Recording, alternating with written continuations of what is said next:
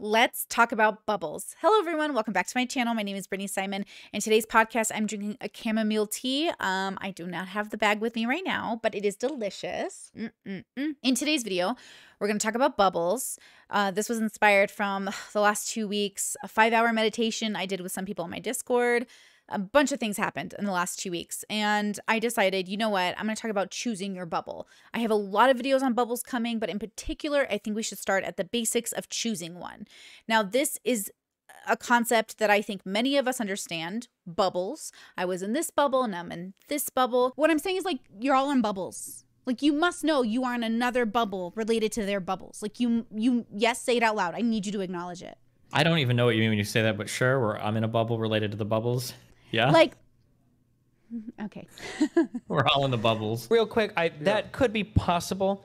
I would be curious what type of guy it is. Maybe because I might be, this might be my bubble because of the industry that I work in. Katy went on Chelsea Handler's podcast, Dear Chelsea, and revealed that she'd been living in Kentucky for a month now, saying that leaving Hollywood has allowed her to understand people better. She did say that people in Kentucky definitely live in a bubble, but admitted that people in Hollywood do too. Wait, let me just let me do this, and then she's gotta go. I agree with you. What? But here's why I disagree with you. Because I think on the internet, everything seems very hopeless and everything seems very generic sort of one size seems to fit all.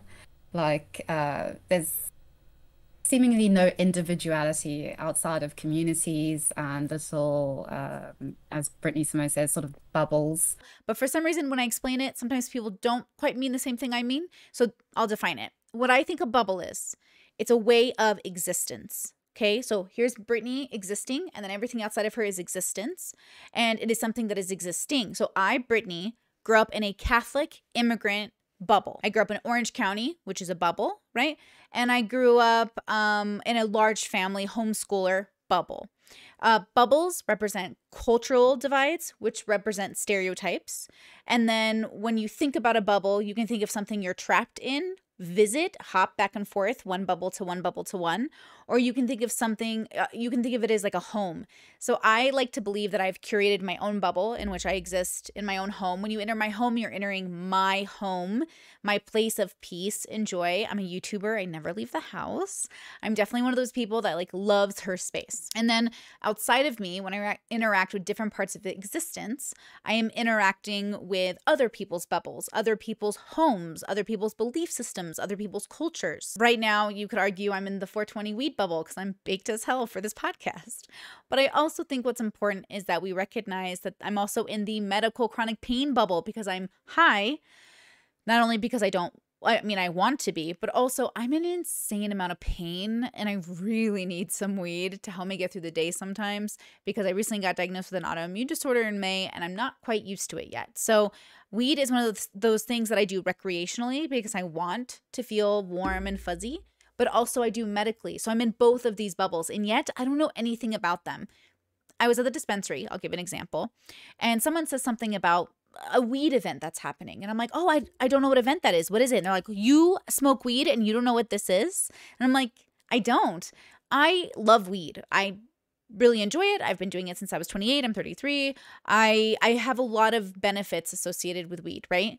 But I don't know anything about weed culture really. I mean, I know who Snoop Dogg is and we've Wiz Khalifa. I've seen Wiz live. You know, I I know that, but I don't know what is weed culture really? Like I have a brother who probably could tell you like the strains and the effects and what they all do. But see, that's not me. I again, I like drugs.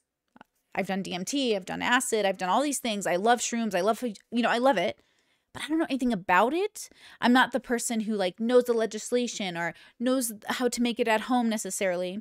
And I'm the kind of person who has like a very this is for meditative purposes and or sometimes recreational sometimes party purposes kind of person but i've never been to a rave right like i don't quite fit, fit into certain bubbles but i do bubble hop into different ones somebody the other day at the dispensary said oh my gosh brittany you would be perfect at a rave and i said a, a rave and they're like yeah you're upbeat your personality is so social like you're so social it's warm blah blah blah i didn't go to a rave in my 20s when i had chances I had friends who, you know, loved ecstasy and were like Berkeley students who would go to raves all the time. And like, I've had options and I just didn't take it. I'm not a rave girl.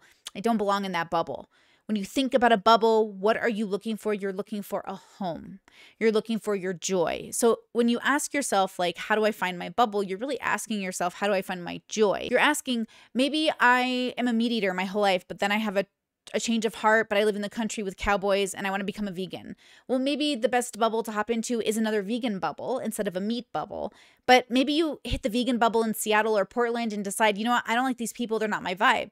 But then you end up in like middle America and find this old country person who was progressive enough to like, you know, let's say not make fun of vegans, but also is vegan, but also doesn't make it their identity, but is vegan. You know what I'm saying? Like maybe there's a bubble within a bubble within a bubble. Okay, do other people make bubbles? Yes, but we do as well. We are all making bubbles together. It's sort of a consenting relationship, sort of, but it also just is a part of living in a society. One group of people says, Hey, I know things are this way. I'd like to change it they changing the bubble, right?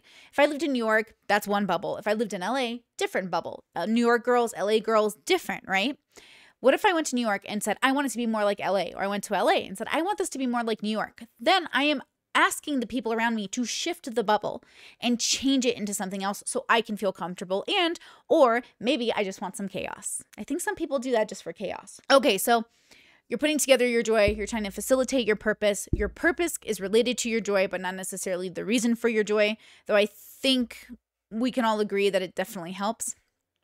I think as you bubble hop, or maybe don't even bubble hop, but have different relationships in your same bubble, what you're doing is gathering tools to facilitate your joy. So if you're already in a bubble, like Farm Brother was born into the perfect bubble for who he is, you see how he's so proudly Catholic, he's so proudly himself. There is no one on this planet who's gonna bully or make fun of my brother into ever changing his like value system, right? He is who he is, you take it or leave it. He's never needed to leave the Catholic bubble. He's always been Catholic. I think he stopped going to church for maybe like six months in high school, maybe, but otherwise, he's always been in the church, right? He like has always loved Christ.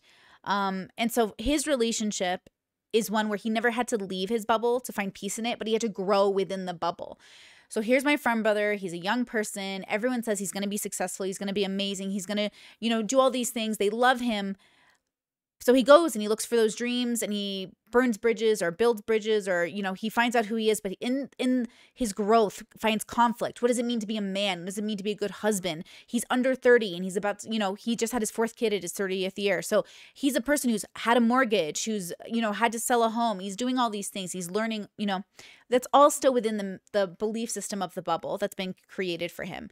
He never had to become like an atheist or go do sex work or switch to jehovah witness. He never had to like bubble hop really to find out who he was. To become the best version of him and to find his joy, he just needed to stay in the bubble he was born in. So, not everyone needs to leave their bubbles, but I do think in a lifetime you still crash into bubbles. So, because I am Farm Brothers' sister, I force him to meet new bubbles. I force him to interact with the YouTube bubble. I, not force, you know, because like he consents, he's a man, but like, you know, I, by being my friend, it forces him. Do we all understand what I'm trying to say? Forces him into understanding the BDSM bubble, the sex worker bubble, um, the female the girls who have friend boys who are friends bubble. Like you know my Farm Brother and his wife they don't have opposite sex friends except for couple friends. Um and then like they have individual girl and boyfriends like friends of the same gender because they wouldn't really need to have opposite gender friends. Neither of them are those people but i am one of those people. I have a lot of male friends okay? Anyway so you're in your life you are where you are and you're watching this video. So now you're in brittany's bubble okay so now you get to decide because you're listening to me say it, but you don't have to listen to me, right? I'm just a person. This helped me. It might not help you. If you feel yourself out of sync with the people around you, if you feel your joy slipping away, if you feel like it never existed, if you feel like life is just this fucking cage, take a deep breath and turn the fuck around. Just turn left and go that way. Basically, you're trying to force yourself into another part of the planet or within your city or within your whatever to gain a tool and a realization that of course there's more than your fucking six feet radius like that you're you can see. Like of course there is more to life habibi than youtube channels and drama and fucking hollywood stars and i don't know what else is going on in the world. I'm kind of out of sync. There's so much more in life than just whatever you think you're seeing. If you find yourself being crushed by the weight of your bubble turn left. Just turn left and walk this is a metaphor, but also like, okay, just the point is is you have free will and or you don't have free will but you're still doing something. If you don't have free will but you can still like or dislike this video or leave me a comment telling me how good my hair looks today you have enough free will to turn left even if you don't think you do. There's a reason we end up doing the things we do I think when you're looking for your right bubble, you're also looking for the most core part of yourself. So, you guys know I think we have like eight parts, and those eight core parts don't encompass all of who you are, but it's like the important things, kind of like a core memory, but a core part.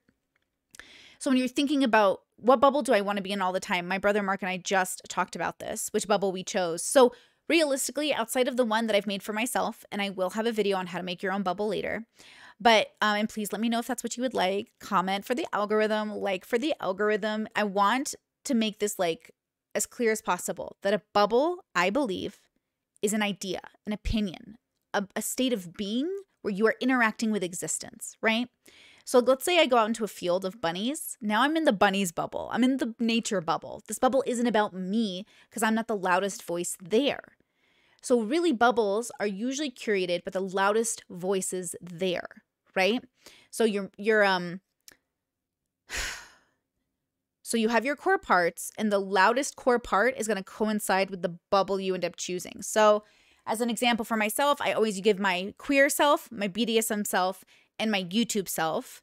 Those are my, like, let's say three top core selves that interact with existence. So when I'm choosing a bubble bigger than the one I made for myself, I have to choose one of those. So I chose the YouTube bubble, I think is the most important. So my job, what I'm doing here, I spend most of my time, right? That's like a big time. Let's say half my time working, focusing on that Brittany and then living in that bubble. Like I even chose the place on YouTube I'm at. I'm there's a reason I'm friends with Abba and Kyla and Steven and I'm friends with now all these other people like Cherry and Genevieve and all these other people I can talk to now, irrelevant and all these people because we all gravitate towards the same part of YouTube. And so there must be a part of all of us that is so similar enough that we found ourselves here. Just like with you guys, my audience there is overlap for a reason. There's a reason you like my content. There's a reason sometimes when you guys say things, I'm like, oh my God, I feel so seen because some part of your brain can understand me. The people I think who upset are upset the most with me, who are frustrated the most by me, can't see me. So they think I'm one thing when I'm another. Like if a guy looks at me and genuinely can't see me as anything but an OnlyFans girl, his bubble has only allowed him to view women on OnlyFans as OnlyFans girls. He's limited his scope in, into seeing the broader person because of this one detail. Versus Farm Brother, though conservative, knows me as his sister and knows so much about the layers of Brittany that the idea that his sister would only be an OnlyFans girl is so weird to him. He's like, You're so many other things. You know what I mean? So it is what it is, right? Farm Brother can see parts of me. Some people on the internet can't. So I can't be that upset about it. And I'm really not. I get a little worried sometimes that the bubbles are going to go crazy and like kill me or like cancel me and to in, in, in such a way that would be harmful. So again, when you're picking your bubbles, you are you are always going back to that core self, some core self. Now, there's the core, core, core self that I think defines your personality and your identity. Mine is mother, right? But there are versions of the core selves that again are complementary to where you're living. So let's say if you're trying to figure out like who you are as a consciousness, you would focus on the core part of yourself that is your identity. Mine is mother. If you're looking for like what is your core self when it comes to environmental living? Mine is country, mine is in city girl. So like my core, like my country self, my pride and prejudice, my wild flowers and fields of like trees, that version of Brittany is louder than the version of Brittany that dreams about living in the city and being like in Manhattan in a in a tall skyscraper where like some part of me wants to be Meryl Streep on The Devil Wears Prada, but she's not a core self. She's not very loud, but she's there. There is a version of Brittany in my head that lives that life, but I just she's not loud enough for me to care. The girl in the Pride and Prejudice dress running around pregnant in a field full of bunnies, that is 1000% a very loud part of my brain and if I don't have that future, I'm just going to feel like I didn't serve one of my core parts. So, again, we're facilitating the core part of yourself that is your personality, the core part of yourself that is living in an environment, and the core part of yourself that is with the people of the environment. So let's talk about the people in the environment. So I chose a country town that fulfills my location, but the vibe of the city ended up being very complementary to who I am. It's quite centrist. Let's go Brandon flags and LGBT flags in Pride Month. So it's not as conservative as like um Texas might be, but it's not progressive like California or Portland would be. It's like right there in the middle, and I like it a lot. I like where I live. I think it's interesting. People mind their own business. It's a really small town. Um, I don't have to deal with like traffic or any of the things I hate in the city. It really is a great life. The people here in particular are um, kind of like tongue in cheek, and then they're kind of the people that like work for the weekends like work for beer money. So they're like really easygoing, but sort of like lazy, but like not lazy. Like they're productive enough to get their bills paid and they're productive enough to enjoy the weekend. But they're not like gonna hustle and bustle, which is why I like it because it's a place I can be lazy, but I can also look good. Like the fashion here that country fashion, but most of the time it's a very chill town that isn't very judgy. So I really like living here, even if the internet is very bad. When you're picking a bubble, we're thinking about the personality, so mine is mother, the location, mine is country, and then the people minus centrist. As much as I love being a progressive and I feel like I very much am one in spirit, politically, sometimes I lean more right, but not really because I never vote Republican. So I live in a very weird world where I want more personal responsibility and I want community effort. And I find that living in towns that are more centrist kind of give me that feeling. So I can trust my neighbors more as well. I definitely live in a very safe place. Even though the statistics will tell you otherwise, the people here are safe nothing ever happens and everyone ends up being okay. So again, we're looking for complementary core selves when picking a bubble. The next is considering family and personal needs. So you're thinking about your needs. What are your core needs? Mine would be family as my example, okay? How important how important is feeding that core part? You know, now that I'm in a relationship, uh it's transferred a little bit. So when I'm single, I want to live near my siblings or friends. Inner circle when I'm in a couple like I am now, I just want to live with them. I don't really feel as clingy to my family, and I'm a very needy person. I like hanging out with my people. I know I'm going to die one day, and I don't want to waste time not living near people I love. So I try to be near people I love, or at least fly out to see people once a month or something, something. But I live with my brother now, so that's really great, right? Just saw a farm brother. He just came to town. It was awesome. Um, so now that I'm partnered, I find myself just thinking that he is my main home and so my needs have gone from people to person, but the frequency is the only thing that changed. So if I wasn't partnered, I'd love to see my friends and family like every month. But since I am partnered and because we want to make a family, that takes a that's like a huge responsibility to me and I want to really focus on that relationship and curating it. So my friends and I would probably see each other every summer instead, like hang out with my husband most of the year, you know, do collaborations and work on YouTube, but really focus on vacation time since my family's all spread out, traveling just during the summer. Something like that, right? You have to pay attention to the core part of your needs, but also how they're going to change over time. Once I have children, I'll probably also need to see my family a little bit less, but that doesn't mean I don't talk to them more. So, my family, if we live apart, we just talk more. We talk on the phone all the time. Every day we're sending Marco Polos. We're always sending Snapchats. We're always on Instagram. So my family has apps just for family. Like my parents got social media apps just to stay in touch with each other because that's what we're going to have to do if we're not going to live together, right? So my needs shifted and changed as my life changed, which is beautiful. My personality is the same loyalty, family, consistency. Those are the things I strive for in my joy. And I have to pick the bubbles that make the most sense for those things to be met. So when you're going out and just having a day, let's say you're going out to the store, you're going out to the club, you're going out to work, start paying attention. What things start to bother you? What things do you love about where you live? What things do you see yourself needing? What kind of people do you gravitate towards that feed like that feed you and your positivity and your optimism? You know one of my favorite things about bubble hopping is like tool collection like tool collecting.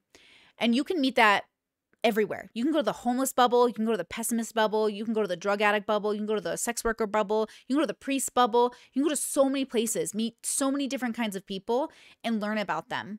Um recently i've been thinking about um uh like different kinds of callers like what kind of bubbles would talk to me you know there are people that i've never even talked to like some type of person exists in the world that i've yet to talk to even though i talk to hundreds of people a year there's still so many unique categories of human and bubble that I still haven't talked to every single one. And I, I just can't wait for the possibility of meeting someone I'm like, oh, I've never talked to your bubble before. Somebody on a live show asked me if I ever think or um, discover a new bubble that like shocks me. To be honest, I think now I'm just eagerly waiting for all of them to show themselves now that I'll see them all before I die. Before, I used to be shook, like, and it felt like, oh my God, I was learning something new. My mind was blown. But now I just know anything is possible. So now I'm just like, ooh, tell me more. Like, I find myself being curious more than shocked. And that's why I think bubbles are so cool and it's so human and it's so okay.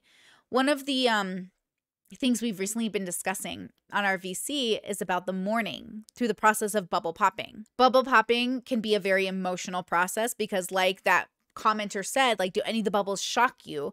What we're asking is, does it shock you that you find out people live differently than you? That's really what we're shocked by.